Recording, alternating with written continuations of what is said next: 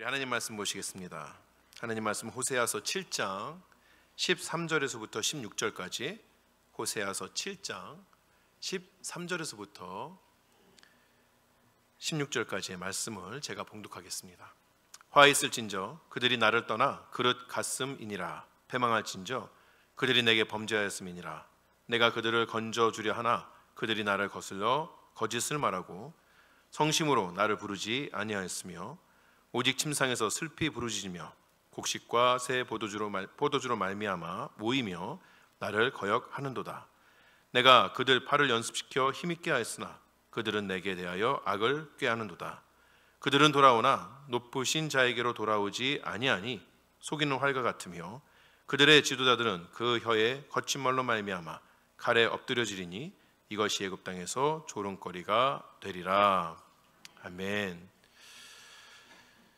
지난 우리 호세아서 6장에서 자신의 백성은 살리시려고 하는 하나님의 열심, 그러나 그런 하나님의 열심과는 상관없이 그 하나님께서 주신 은혜를 기억하지 못하고 또 은혜를 이웃들에게 베풀지 못하는 이스라엘에 대해서 살펴보았습니다.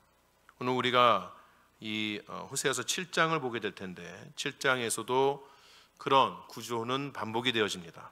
먼저 7장 1절과 2절을 제가 다시 한번 봉독하겠습니다. 7장 1절과 2절입니다. 내가 이스라엘을 치료하러 할 때에 에브라임의 죄와 사마리아의 악이 드러나도다.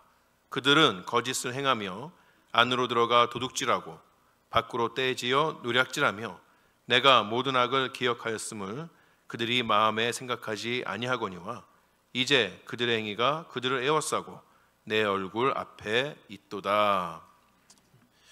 하나님께서는 항상 그 백성들을 포기하지 않으십니다. 백성들의 반응이 하나님 앞에 온전히 있지 않다고 하여도 또 그런 그들을 바로 세우시려고 하는 그 하나님의 열심은 절대 그쳐지지 않습니다. 하지만 그런 하나님도 때로는 탄식할 때가 있으신 것이죠. 하나님께서 이스라엘의 악을 치료하려 하셨다라고 그렇게 이야기합니다.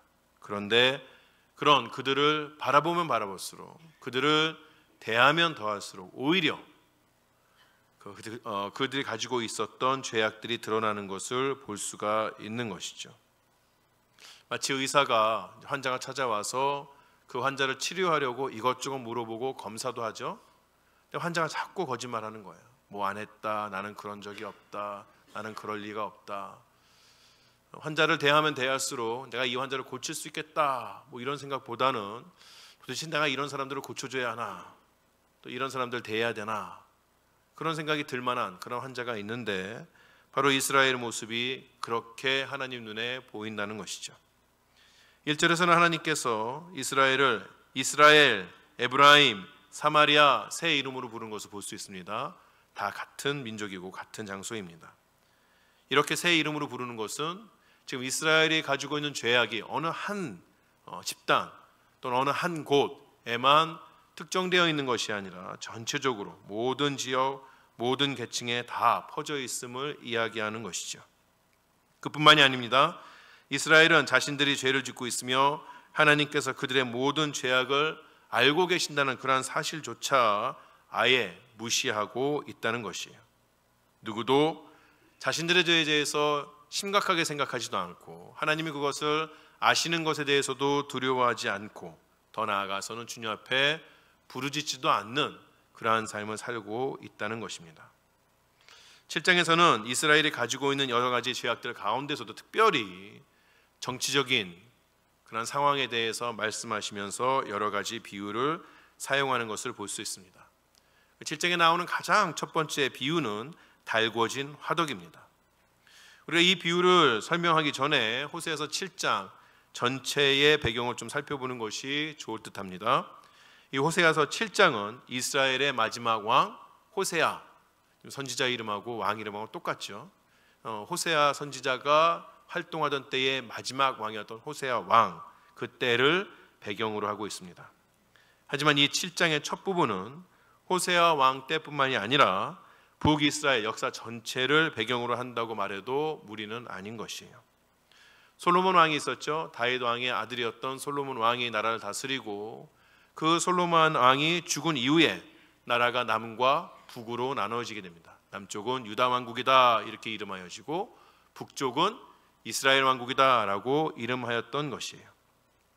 이 북쪽 이스라엘 왕국을 여로보암이라는 왕이 세웠었는데 이 여로보암에게 나라를 세우라고 말씀하신 것은 하나님이셨어요. 그러니 나라가 갈라지게 되고 또 이 나라 북쪽의 왕국을 세우는 것도 물론 그 모든 것들이 다 이스라엘의 죄악으로부터 시작된 것이긴 하지만 하나님의 계획 가운데 있었던 것이라고 이야기할 수 있는 것이죠. 하지만 하나님께서 세우라고 하신 그러한 나라였음에도 불구하고 그 나라 북이스라엘에 정통성이 있었던 것은 아닙니다. 이스라엘의 정통성을 가지고는 다윗 왕가가 다스린 것도 아니고 또 이스라엘 민족에서 가장 중요한 하나님의 임재가 있다라고 여겨지는 성전이 그 땅에는 있지 않았던 것이죠. 나라를 세운 여로보암이 생각해 보니 그런 열등감이 그런 어떤 컴플렉스가 자신과 또 그 이후에 나라에 있어서 큰 문제가 될 것 같다라고 생각한 것이에요. 그래서 그가 어떤 일을 합니까? 다짜고짜 북쪽으로는 단이라는 곳에 남쪽으로는 배달이라는 곳에 금송아지 하나 탁 만들어 놓고 여기가 우리가 하나님을 예배하는 장소다라고 이야기하는 거죠. 레위인들 당연히 하나님의 그 성전에는 레위인들이 수종을 들어야 하는데 레위인들을 데려다가 제사장 삼는 것이 아니라 오히려 그냥 일반인들 데려다가 제사장으로 삼습니다. 유대인들이 계속해서 지켜왔던 절기와는 상관없이 자신들만의 조종되어진 절기를 만들고 그때에 하나님을 섬긴다, 하나님께 감사한다라고 이야기하고 있는 것이죠. 다시 말해서 하나님의 말씀과 상관없이 자신의 컴플렉스를 이기기 위해 무엇인가를 만들어 놓고 마치 그것이 하나님의 것이냐, 하나님께서 원하시는 것이냐, 그렇게 죄악된 행동을 해 왔다는 것이에요. 안타깝게도 그 이후로 이 여로보암이라는 왕 이후로 모든 북이스라엘의 왕은 성경에 보면 뭐라고 얘기하냐면 여로보암의 죄를 떠나지 아니하였다라고 이야기하는 것이죠. 그 죄는 그 나라의 하나의 전통이 되어 버린 것입니다. 잘못된 흐름에서 벗어나지 못해서 하나님 앞에 서지 못했던 나라가 북이스라엘이라는 나라인 것이죠. 나라를 다스리는 왕이 하나님 앞에서 온전하지 못하니 왕국이 평안할 수가 없었던 것이죠. 남유다 왕국은 약 350년 동안 지속이 되었습니다. 그러나 그 350년 동안에 왕조는 단 하나였어요. 다윗 왕조에 속해 있는 왕들이 그 나라를 다스렸던 것이죠. 그에 비해서 북이스라엘은 그거보다도 훨씬 짧은 약 210년 동안의 왕, 어, 210년 동안을 지속해 왔는데 그 210년 동안의 왕조가 9개의 왕조가 어, 있었던 것이죠. 그리고 19명의 왕이 통치를 했는데 그 중에서 7명은 신하들에 의해서 살해를 당하게 됩니다. 특별히 호세아 선지자, 우리가 지금 호세아 선을 보고 있는데 호세아 선지자가 활동하였던 북이스라엘의 마지막 30년 동안에 6명의 왕이 통치했으며 네 번이나 왕이 바뀌는 것을 볼 수 있었어요. 이러한 혼란의 시기 매우 혼란하겠죠. 30년 동안 왕이 6명이 바뀌게 되고 그 중에 한 명, 베가라는 왕은 20년을 통치했으니까 나머지 10년의 10년이라는 그런 기간 가운데 정말 수많은 왕들이 바뀌었다는 것을 알 수 있습니다. 이렇게 아주 혼란한 시기에 그 시기를 다스려 그 시기에 왕국을 다스려 왔던 이스라엘 지도자들을 가리켜서 하나님께서는 달궈진 화덕이라고 그렇게 부르셨던 것이에요. 여러분 화덕을 아시나요? 우리 이제 옛날로 따지면 아궁이 뿌리겠죠. 예, 그 아궁이 뿌 옛날에는 뭐 지금이야 성냥개비 하나 탁 던지면 되는 것이고 뭐 톨치도 있고 여러 가지 불을 피울 수 있을 만한 것들이 있지만 옛날에는 불 한 번 피우는 것이 어, 여의치 않았죠. 저도 기억이 납니다. 어렸을 때에 저희 외할머니 집에서 살 때에 그때에 항상 저희 외할머니가 삼촌들에게 하는 말이 있었어요. 연탄불 꺼트리지 마라. 연탄불 한번 꺼트리면 그 다시 피는 게 얼마나 힘듭니까? 번개탄 갖다가 놔야 되고 뭐 힘들죠. 근데 그때도 그랬는데 20세기에도 그랬는데 이 당시에 화덕에 불을 한번 꺼뜨렸다. 아주 골치 아파지는 것이죠. 사용하고자 할 때 사용할 수도 없는 것이죠. 그래서 화덕의 불은 끄지 않았습니다. 작은 불씨를 온전하게 남겨놨다가 빵을 굽거나 음식을 할 때쯤 되면 다시 장작을 넣어서 크게 불을 태우게끔 하는 것이죠. 이스라엘의 지도자들이 바로 그런 화덕과도 같다는 것입니다. 새로운 왕이 태어나고 또 그 왕을 따르는 지도자들이 나라를 다스릴 때에 옆에 있는 많은 사람들이 마치 그 왕이 나라를 구원해 줄 것처럼 그 지도자들이 모든 것을 다 해줄 것처럼 그 앞에서 비위를 마치고 오늘 말씀 보니까 그를 찬송하고 그에게 악을 행하였다 악한 것 것으로 행하였다라고 이렇게 이야기하는 것이죠. 근데 그들의 마음 가운데 순전한 마음은 없었어요. 다만 약간 불씨만 남겨준 화덕처럼 기회만 엿보고 있는 것입니다. 기회를 엿보고 있다가 왕에게 있어서 약점이 발견되면 부를 때는 화덕처럼 아주 광렬하게 맹렬하게 일어나서 세워진 왕을 처단하고 죽이고 새로운 왕을 올리는 그러한 것 그러한 일들이 이 북이스라엘 가운데 계속해서 있어 왔다는 것이에요. 그 모습이 3절에 나오는데 3절을 제가 세 번역 성경으로 읽겠습니다. 이렇게 이야기합니다. 왕을 갈아치울 자들이 악한 음모를 품고서도 겉으로는 왕을 기쁘게 하며 온갖 기만으로 대신들을 속여 즐겁게 한다. 이것이 바로 그 당시 이스라엘의 모습이었던 것이에요. 이제까지 백성들은 다스리던 왕, 재판장, 제사장들 이러한 사람들이 한 번에 순식간에 새로운 세력에 의해서 죽임을 당하고 새로운 왕이 태어나고 새로운 세력들이 나라 다스 이런 것들이 반복되어지는 혼란한 시대를 살 수밖에 없었던 것이죠. 그런데 이것보다 더 심각한 문제가 7절에서 나옵니다. 7절도 제가 세번역 성경으로 읽어드리겠습니다. 그들은 모두 빵 굽는 화덕처럼 뜨거워져서 그들의 통치자들을 죽인다. 이렇게 왕들이 하나하나 죽어가는데도 어느 누구도 나 주에게 호소하지 않는다. 여로보암 2세 이후에 여섯 명의 왕 중에서 살해되지 않은 왕은 딱 한 명, 문하임 뿐이었습니다.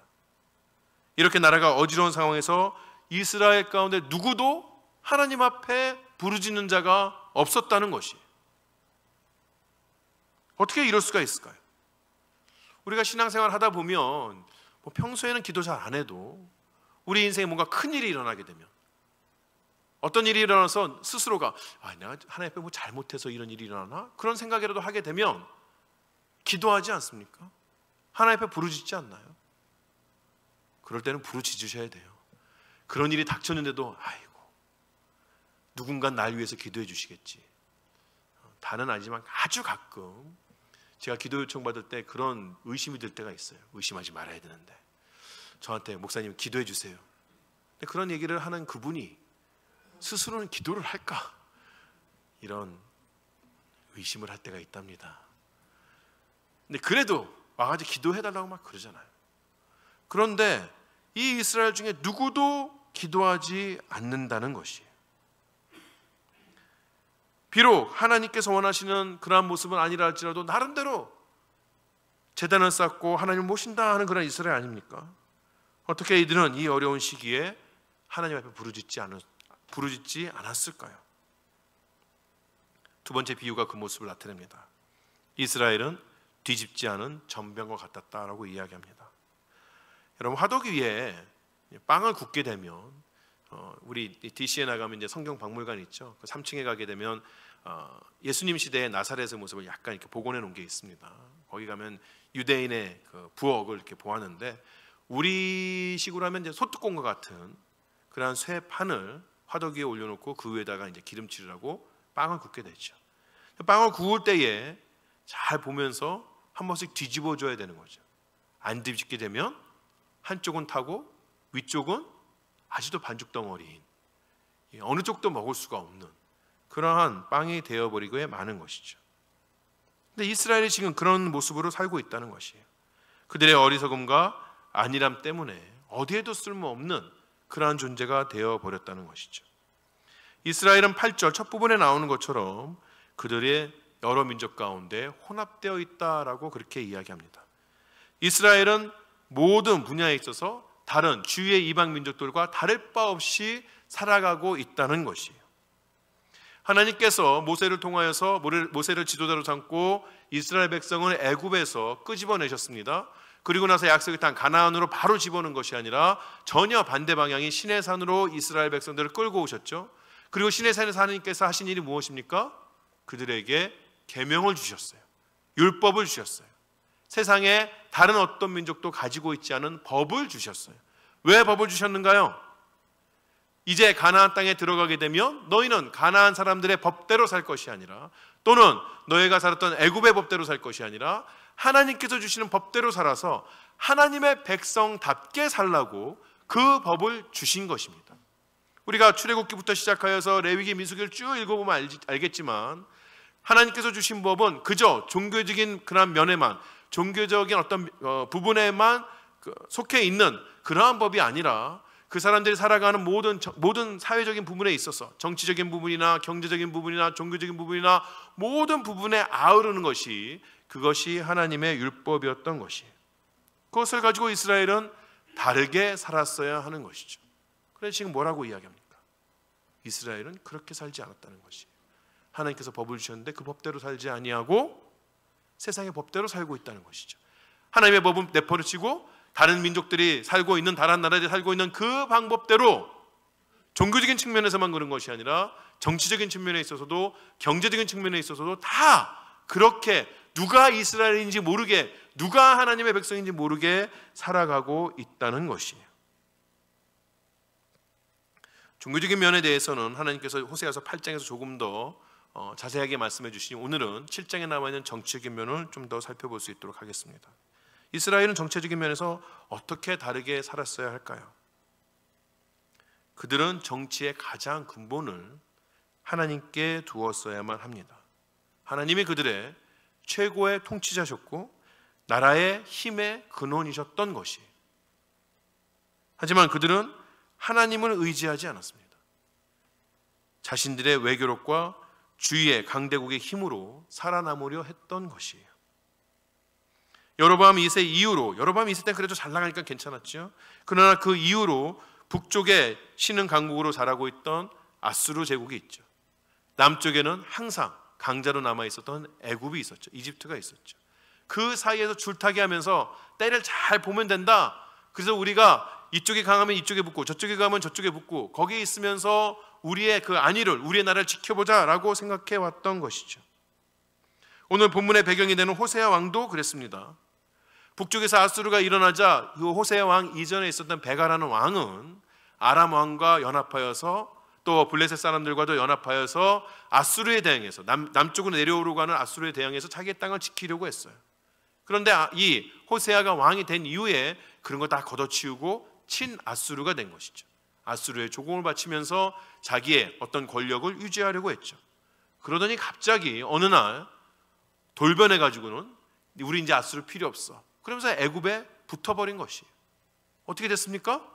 결국은 성난 아수르의 먹힘을 당하게 되어버렸던 것이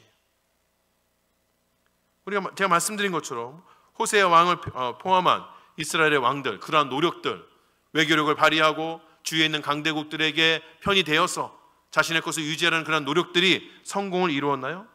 그러한 지도자들의 행위들이 나라의 평안을 가지고 왔나요? 그렇지 못했던 것이에요. 외교를 통해서 안정과 풍요를 누리려고 했던 그들의, 그들의 기대와는 달리 이스라엘을 지켜줄 것 같은 그러한 강대국들이 오히려 이스라엘의 힘을 점점 더 삼키고 있었다는 것이에요. 이스라엘의 강대국으로 기대면 기댈수록 그들의 형편이 나아진 것이 아니라 더 많이 뺏기기 시작하는 것이죠. 하지만 그들은 그런 사실을 제대로 알지 못했어요. 계속해서 헛된 기대만 하고 있었을 따름입니다. 그런 이스라엘을 오늘 본문 오늘 7장 말씀에 보면 백발이 무성한 자라고 이야기합니다. 보통 성경에 있어서는 백발 그러면 이제 영화로운 것으로 표현이 되는데 이 호세에서 7장에서 백발은 영화로운 것이 아닙니다. 세 번역 성경 이것을 죽을 날이 가까웠다라고 이야기해요. 점점 힘이 빠져서 죽을 날만 기다리는 그러한 모습이라고 표현하고 있는 것이. 그런데 이스라엘은 그것을 깨닫지 못하고 있는 것이죠. 하나님께서는 이러한 이스라엘 모습을 어리석은 비둘기라고도 비유하십니다. 여러분 비둘기가 먼 곳에 있는 그 목표지까지 찾아갈 수 있는 그러한 새이죠. 옛날 영화들 보게 되면 비둘기 다리에 편지 묶어가지고 보내지 않습니까? 제가 좀 유창하게 한자를 쓰면 전서구 들어본 일이 없으신가요? 제가 고등학교 때, 저 제가 다니는 고등학교 때는 여러 가지 그런 서클 활동들이 왕성하게 있었는데 비둘기 반이 있었어요. 학교 옥상에다 비둘기를 키우는. 날리면 샥 한 바퀴 돌았다가 다시 돌아오고 그럽니다. 여튼간에 그게 이제 비둘기예요. 비둘기는 그렇게 방향성을 제대로 잡고 그 방향을 따라서 자기의 갈 길을 제대로 가는 게 비둘기죠. 근데 오늘 이스라엘은 어떤 비둘기다? 그런 비둘기가 아니라 어리석은 비둘기입니다. 제 갈 길을 찾아서 갈 것처럼 내놨더니 어디로 갈지도 몰라서 갈팡질팡하는 그런 모습으로 매 순간을 살아나가는 그래서 결국에는 떠돌다가 더 사나운 그러한 독수리나 매한테 잡히고 마는 그러한 비둘기처럼 이스라엘이 살아가고 있다는 것이에요. 이스라엘은 애초부터 방향을 잘못 잡은 것이죠. 이스라엘은 지금 둘러싼 자신을 둘러싼 여러 강국들을 바라보고 있지만 사실 이스라엘이 바라보고 목표로 삼아야 할 것은 한 곳뿐이었어요. 어디죠? 여호와 하나님뿐이었던 것이죠. 그들을 구원해 줄 수 있는 존재는 아수르도 아니었고 애굽도 아니었던 것이죠. 먼 옛날 그들의 조상들 애굽에서부터 나오던 그들의 조상들 때도 그들을 구원하시는 분은 여호와 하나님이셨고 지금 이 호세아 때도 그들을 구원하시는 분은 여호와 하나님이신 것이죠. 상황은 달라졌 눈에 보이는 상황은 달라졌을지라도 항상 그들과 함께 하시고 그들을 구원해 주시고 그들을 인도하시는 분은 여호와 하나님 그 사실은 조금도 변함이 없었던 것이 이 사실을 가슴에 새기고 살아야 할 이스라엘이 그것을 깨닫지 못하고 있는 것이에요. 이스라엘은 앞에서 언급된 것처럼 우리 7절에 보면 그 어려운 가운데서도 누구도 하나님 앞에 부르짖지 않았습니다. 10절에 보는 것처럼 우겨쌈을 당하여도 하나님 앞에 돌아오는 자가 아니었던 것이에요. 다른 나라에 다시 잘 줄을 서게 되면 잃어버린 것들을 찾게 되고 자신의 영화를 찾게 될 것이라는 그런 헛된 망상 가운데 이스라엘이 살아가고 있었다는 것이에요. 이런 어리석은 이스라엘 살 길을 찾아서 애국과 아수르 사이에서 헤매고 있는 그러한 이스라엘 하나님께서는 심판하신다는 것이죠. 12절을 다시 한번 보겠습니다. 그들이 갈 때에 내가 나의 그물을 그 위에 쳐서 공중의 새처럼 떨어뜨리고 전에 그 회중에 들려준 대로 그들을 징계하리라. 새가 아무리 높이 나르고 멀리 나른다고 하여도 하나님 그 위에 그물을 쳐서 그 새를 떨어뜨리겠다고 말씀하시고 그들이 떨어진 그 새에게 말씀하신 것처럼 없던 것을 가지고 징계하시는 것이 아니라 이미 그들에게 알려준 대로 징계하시겠다고 말씀해 주고 있는 것이에요. 하지만 우리가 아는 것처럼 이스라엘을 징계하시는 것이 하나님께서 원하시는 것은 아닌 것이죠. 하나님께서는 그분의 공의로운 속성 때문에 이스라엘을 징계하신다라고 말씀하시면서도 아픔에 가득 찬 슬픔의 노래를 부르시는 것이죠. 그것이 오늘 13절부터 16절까지의 애가입니다. 슬픈 노래이죠. 그 애가의 시작은 어떻게 되죠? 화 있을진저. 하나님께서 이스라엘 무섭게 하려고 소리 지르신 것이 아니라 쓰러져 가는 멸망해 가는 자신의 백성들을 보면서 아픈 마음으로 외치시는 것이죠. 화 있을진저. 하나님께서는 이스라엘에게 그분에게만 붙어 있으면 평안할 것을 약속하셨는데 이스라엘은 하나님 앞에 붙어 있지 않았습니다. 하나님께서는 그들의 죄악을 그들을 죄악 가운데서 건져 주려고 하셨지만 그들은 하나님 면전에서 거짓말하고 자신의 죄를 회피하려고 했던 것이에요. 하나님께서 선지자들을 보내셔서 그분께 전심으로 부르짖으라고 말씀하셨지만 이스라엘은 하나님 앞에 부르짖는 척 하면서 그 마음에는 진실함이 없었던 것이에요. 14절을 보게 되면 이스라엘이 침상에서 부르짖었다라고 말하는데 하나님 앞에 부르짖은 것이 아니에요. 이 당시에 이방의 신들을 섬기는 그런 모습을 보면 재단 옆에 침상을 갖다 놓고 재단 우상에게 들렸던 그러한 음식을 먹으면서 부르짖는 그러한 행위들을 하나님께서 말씀하시는 것이죠. 하나님 앞에 가서는 성심으로 부르짖지 않는 자들이 이방신 앞에 가서 눈물을 흘리면서 부르짖는 이 어처구니 없는 그러한 모습이 이스라엘의 모습이었다는 것이에요. 하나님께서 이스라엘에게 힘을 주셨는데 그들은 오히려 그 힘을 하나님을 배반하고 하나님 보시기에 악한 일을 하는데 사용했다는 것이에요. 결국 이스라엘은 오늘 마지막에 나오는 비유처럼 속에는 활, 느슨하게 풀어진 활처럼 되어 버렸습니다. 활은 그 시위가 팽팽하게 있어야 사용될 수 있는 것이에요. 느슨해진 활에 여러분 아무리 화살을 당겨봐야 목표를 아, 가눌 수가 없는 것이죠. 느슨하게 풀어진 활은 그들의 약함과 그들의 무능함을 나타내는 것이에요. 세계 정세를 주의 깊게 보고 자신들의 모든 능력을 사용해서 정치력을 발휘하고 그래 보았지만 결국 이스라엘은 극도로 약해졌고 이제 멸망을 앞둔 존재에 불과했던 것이죠. 그들은 머지않아 아수르의 칼에 죽임을 당하게 될 것이고 피난을 갔던 애굽에서 수치를 당하게 될 것이라고 하나님은 분명하게 이야기해주고 계시는 것이에요. 이것이 하나님을 의지하지 않는 자들의 마지막이라는 것이죠. 수치를 당하고 멸망을 당하게 되는 것.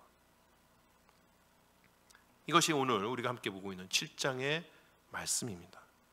이 호세에서 7장을 보게 되면 그, 그 7장을 통하여서 나타나는 이스라엘의 모습이 소스라치게 우리의 모습과 닮지 않았나요? 7장에서 보여지는 이스라엘의 모습이 조선시대 말 조선을 차지하려고 달려들었던 열강 사이에서 어디로 갈지 몰라 누구에게 기댈지 몰라 갈팡질팡하다가 결국에는 나라를 빼앗겨 버린 우리의 모습과 정말 닮지 않았습니까? 이 시대에도 열강들 사이에서 어떻게 하면 살아남을 수 있을까? 누구한테 기대면 되는 것일까? 그렇게 갈팡질팡하는 조국의 모습과 정말 닮지 않았습니까?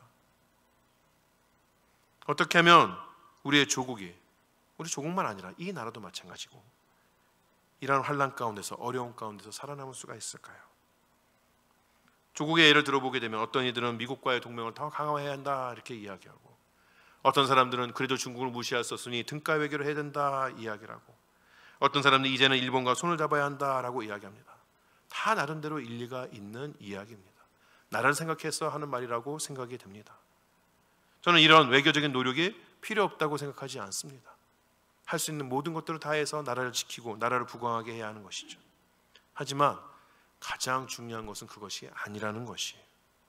적어도 그 나라 안에 있는 교회라면 그러한 외교적인 노력 이전에 어떤 정치적인 판단 이전에 나라를 세우고 그 나라를 지탱하는 힘이 어디에서 나오는가를 분명하게 알고 사회에 알려줄 수가 있어야 한다는 것이죠.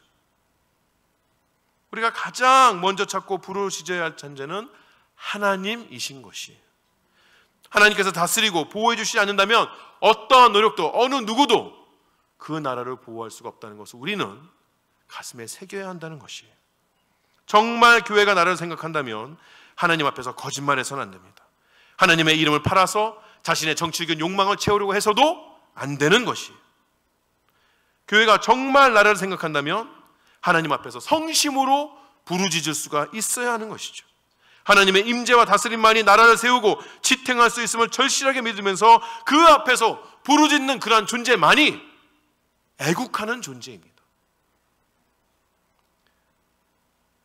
교회는 때로는 자신의 정치적인 성향을 뒤로 하고 하나님 앞에 함께 엎드릴 수가 있어야 하는 것이에요. 어느 당, 어느 집단, 어느 주의, 어느 철학 이러한 것들이 세상을 구하는 것, 나라를 구하는 것이 아니기 때문에 그런 것이죠. 자유민주주의가 발달하면서 세상은 다양한 그런 시각들이 서로 균형을 맞추고 합의된 가치관으로 살아가는 것들을 연습해 왔습니다. 이것이 성경이 말하는 그러한 완전한 하나님의 나라는 아닌 것이죠. 그러나 그런 완전한 하나님의 나라라는 그런 존재 자체는 이 땅 가운데 이루어질 수가 없습니다. 그런 것들을 생각할 때 그동안 자유민주주의가 가지고 왔던 그러한 연습들이 꽤 괜찮다고 여겨지는 것이죠. 하지만 이제는 자유민주주의라고 이름을 걸었던 그런 나라들도 점점 더 전체주의 같은 그런 모습을 가지고 오는 것을 볼 수 있어요. 그런 나라를 가운데서 정치가 우상이 되어지는 것이죠. 팀 켈러 목사는 우리 사회에 있어서 정치가 우상이 되어졌다는 그 증거로 두 가지를 이야기했습니다. 사람들이 정치에 대해서 극단적으로 생각한다는 것이에요. 우리 미국 땅에서도 많이 들어봤죠? 이번에 대통령 선거에서 누가 대통령이 되면 난 나라를 떠날 거야. 두 번째로 정치가 우상이 되었다는 증거는 자신의 반대편에 있는 사람들이 그저 다른 생각 또는 잘못된 생각을 가진 나의 파트너라고 생각하지 않고 사악한 존재라고 여기는 것이에요.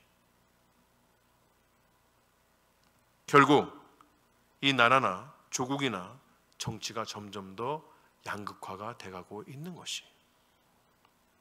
지난주에 월요일날 화요일날 우리 오른교회 청년들하고 같이 지내면서